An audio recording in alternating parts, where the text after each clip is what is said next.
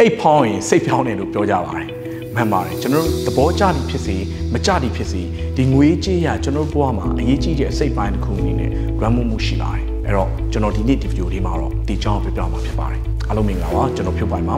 ကုမ္ပဏီနဲ့ working professional ရဲ့ productivity နဲ့ profit ကိုတိုးတောင်ကူညီပေးနေတဲ့ marketing trainer ကိုစောတဲ့တယောက်ဖြစ်ပါတယ်တခါလေကြာရင်စီးပွားရေးတုတ်တဲ့အချိန်မှာကျွန်တော်တို့ကရှာဖို့ပဲစဉ်းစားမိပြီးတော့ကျန်တဲ့အပိုင်းတွေဝါတယ်ပါတယ် ဒါကြောင့်မလို့ဒီနေ့မှာကျွန်တော် personal finance နဲ့ပတ်သက်လို့ tip 3ခုကိုကျွန်တော်ပြပြအောင်ပါမယ်အဲ့တော့ number 1 tip ကတော့ကိုယ့်ရဲ့ဝင်ငွေရဲ့10%ကိုပြန်စုဖို့လိုပါတယ်။ဘာကြောင့်မလို့လဲဆိုလို့ရှိရင်ကျွန်တော်တို့အနေနဲ့ဒီ Robert T. Kiyosaki ရဲ့ Rich Dad Poor Dad ကိုကျွန်တော်တို့ဖတ်ဖို့မယ်ဆိုရင်ကျွန်တော်တို့ cash flow quadrant ဆိုတာတွေ့ပါလိမ့်မယ်။ကျွန်တော်တို့ income ဆိုတာရှိမယ် expense ဆိုတာရှိမယ် asset ဆိုတာရှိမယ် liability ဆိုတာရှိမယ်။တော့ income ဆိုတော့ဝင်ငွေပေါ့။ ဝင်ငွေဘယ်ကနေဝင်နိုင်လဲဆိုရင်ကျွန်တော်တို့အလုပ်ကိုင်းနေဝင်နိုင်တယ်။ဒါမှမဟုတ်ကျွန်တော်တို့ရင်းနှီးမြှုပ်နှံမှုတွေပိုင်ဆိုင်မှုတွေကနေဝင်နိုင်တယ်။ expand တော့ကျွန်တော်အတုံးစရိတ်တွေကျွန်တော်ရှိမယ်။ပြီးတော့ကျွန်တော်တို့ access လို့ခေါ်တဲ့ပိုင်ဆိုင်မှုတွေရှိတယ်ပိုင်ဆိုင်မှုကိုကိုယ်အိတ်ထဲဝင်ထည့်ပြီးရရတယ်ပေါ့။မော်ဆိုကိုကတိုက်ခန်းပိုင်ရတယ်တိုက်ခန်းငားရတယ်ကွန်ဒိုပိုင်ရင်ကွန်ဒိုငားရတယ်ဒါမှမဟုတ် business ကြီးမယ်ဒါတွေကိုကျွန်တော်တို့ access လို့ခေါ်ပါတယ်။ပြီးတော့ liability လို့ခေါ်တဲ့ပေးရန်ရှိတွေရှိမယ်ကိုယ်အိတ်ထဲရတယ်အဆန်ထုတ်သွားတဲ့ရတယ်ဖြစ်မယ်။ဥပ မာအဖြစ်ဆိုကျွန်တော်တို့ကအိမ်ကိုကျွန်တော်တို့ဝယ်ရတယ်အိမ်အတွက်ကျွန်တော်တို့လစဉ်ကြီးပေးနေရတယ် mortgage တွေကျွန်တော်တို့ရှိတယ်ဒါတွေကဘာလို့ခေါ်လို့ liability လို့ခေါ်တယ်အဲ့တော့ကျွန်တော်တို့ကပုံမှန်အားဖြင့်10%စုခြင်းအားဖြင့်ကျွန်တော်တို့ကဒီ asset လို့ခေါ်တဲ့ ပိုင်ဆိုင်မှုနေရာတွေမှာကိုအားဖြည့်သွားခြင်းအားဖြင့်ကိုယ့်ရဲ့ဝင်ငွေဒီနောက်ပိုင်းကျရင်ကိုယ့်ရဲ့အလုပ်လို့ခေါ်တဲ့ job ကနေပဲဝင်လာမဟုတ်တော့ဘဲねဒီ asset ကနေဝင်တဲ့အတွက်ကြောင့်မလို့ကိုယ်ဒီ rep rate လို့ခေါ်တဲ့ဝင်ကပါတွေကနေကျော်လာစေနိုင်ပါတယ်ဥပမာဆိုရင်ဒါဆိုလို့ရှိရင်တော့ကျွန်တော်တို့ဒါဆင်းရဲတဲ့လူတွေရဲ့ cash flow quadrant ဖြစ်ပါတယ်အများစုဒီဝင်ငွေရတယ်ပြီးရင်ထွက်သွားတယ် income ဝင်တယ် expense ထွက်သွားတယ်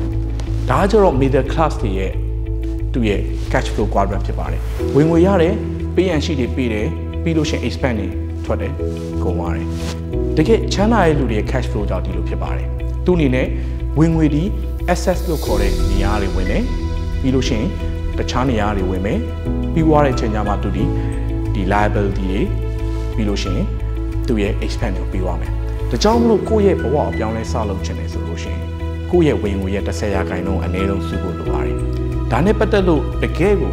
1920ကျော်မှာရေးခဲ့တဲ့နှစ်ပေါင်း4000ကျော်မှာပညာရှင်တွေသူတို့တဆင့်စကားတဆင့်နားနဲ့ပြောခဲ့တဲ့အိယာဝင်ပုံပြင်တွေတဲကအရာတွေကိုပြန်စုစည်းပြီးရေးထားတဲ့1920ကျော်ကထွက်တဲ့စာအုပ်ဖြစ်တဲ့ The Richest Man from Babylon ဆိုတဲ့စာအုပ်ထဲမှာဆိုလို့ရှိရင်လေကိုယ့်ရဲ့ဝင်ငွေရဲ့10%ကိုစုဖို့အတွက်သူတိုက်တွန်းလာပါတယ်။ဒါမှမဟုတ်နံပါတ်1အချက်ကတော့ကိုယ့်ရဲ့ဝင်ငွေရဲ့10%ကိုအသုံးပြုဖို့ လိုပါတယ်။ဒါတော့နံပါတ်1တစ်ချက်ပါ။နံပါတ်2အချက်ကတော့ကိုယ့်ရဲ့ဝင်ငွေတွေကိုပြန်ပွားအောင်ကို manage လုပ်တတ်ဖို့အရေးကြီးပါတယ်။မှန်ပါတယ်။ကိုယ့်ရဲ့ဝင်ငွေတွေကိုပြန်ပွားအောင်လုပ်ဖို့အတွက်ဆိုလို့ရှိရင်ငွေတွေကိုဘယ်လိုခိုင်းစေမလဲဆိုတော့ကျွန်တော်ဒီဖို့လိုပါတယ်။ဒါကြောင့်မလို့ဒီ rich dad poor dad ထဲမှာဆိုလို့ရှိရင်လည်းပြောထားတယ် the rich don't work for money တဲ့အဲ့တော့ချမ်းသာတဲ့လူတွေကငွေအတွက်အလုပ်မလုပ်ဘူးတဲ့တနည်းအားဖြင့်ပြောရမယ်ဆိုရင်ငွေကသူတို့အတွက်အလုပ်လုပ်ပါတယ် ဒီတော့ဒီငွေကိုဘယ်လိုအလုပ်လုပ်ရမလဲဆိုတာဒီဖို့အတွက်ကျွန်တော်တို့က other people money other people time other people experience ဒါတွေကို leverage ကိုအားကန်အားယူပြီးလုပ်တတ်ဖို့အတွက်ဆိုရင်ကျွန်တော်တို့လေ့လာရပါတယ်အဲ့တော့ဒါကိုအကောင်းဆုံးလေ့လာရတဲ့ပညာရပ်ကိုတော့ကျွန်တော်တို့ management လို့ခေါ်ပါတယ်ကိုကငွေတွေကိုအသုံးပြုပြီးတော့မှပွားအောင်ဘယ်လိုလုပ်မလဲဆိုတာကိုကျွန်တော်လေ့လာဖို့လိုပါတယ်အဲ့တော့ management investment ဒါတွေကိုလေ့လာဖို့လိုပါတယ် နံပါတ်3အချက်ကတော့ကျွန်တော်တို့ protect လုပ်တဲ့အပိုင်းမှာကိုရှာပြီးွားပြီဆိုရင်အိတ်ပေါက်နဲ့ဖားကောက်မဖြစ်ဖို့အတွက်ဆိုလို့ရှိရင်ကိုနားမလဲတဲ့အရာတွေကိုရင်းနှီးမြှုပ်နှံမှုမလုပ်ဖို့အရေးကြီးပါတယ်ကိုနားမလဲတဲ့အရာတစ်ခုဆိုရင်ကျွမ်းကျင်တဲ့လူတွေနဲ့တိုင်ပင်ဖို့လိုပါတယ်ပြီးွားလို့ရှိရင်ကိုကဝင်ငွေရပြီဆိုရင်လူအများစုရဲ့သဘောတရားအရာအတုံးစရိတ်ကလည်းမြင့်လာတဲ့သဘောရှိပါတယ်ဒီတော့ကိုယ့်ရဲ့ expand ကိုပြန်ပြီးဆန်းစစ်ဖို့လိုပါတယ် တခါလေကြားလို့ရှိရင်ကိုယ့်ရဲ့ desire နဲ့တကယ် necessary expand နဲ့နှစ်ခုမတူတော့နားလည်ဖို့လိုပါတယ်ကိုဝယ်ချင်တိုင်းအကုန်လုံးမဝယ်ဖို့လိုလို့တခြားလူတွေကိုအထင်ကြီးရင်ပြီးရောဆိုပြီးငွေတွေလျှောက်သုံးတဲ့ဟာမျိုးကိုကျွန်တော်တို့စင်ကြင်ဖို့လိုပါတယ်ဒါတော့နံပါတ်3ချက်ဖြစ်ပါတယ်အဲ့တော့ဒီအချက်3ချက်ကတော့ personal finance နဲ့ပတ်သက်လို့ကျွန်တော်လေ့လာထားတဲ့ကျွန်တော်ဘဝမှာလည်းကျင့်သုံးနေတဲ့အချက်၃ချက်ဖြစ်ပါတယ်အဲ့တော့မိတ်ဆွေတို့ရောဒီအချက်၃ချက်ကိုကျင့်သုံးပြလားကျင့်သုံးပြတယ်ဆိုရင် yes လို့ရေးပေးခဲ့ပါဒါမှမဟုတ်အစကျင့်သုံးတော့မယ်ဆိုဘယ်အချက်ကိုကျင့်သုံးမလဲ comment မှာရေးပေးခဲ့ပါဦးအဲ့တော့အဆုံးထိကြည့်ပေးကြအောင်ကျေးဇူးတင်ပါတယ်မင်္ဂလာရှိတော်နေ့လေးဖြစ်ပါစေ